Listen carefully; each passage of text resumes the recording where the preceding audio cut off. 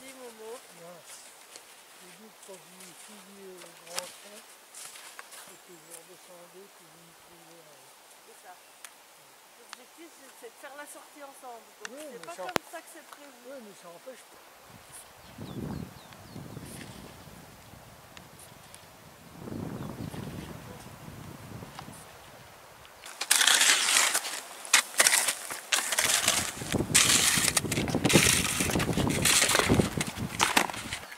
Et alors, ça a marché T'es tranquille maintenant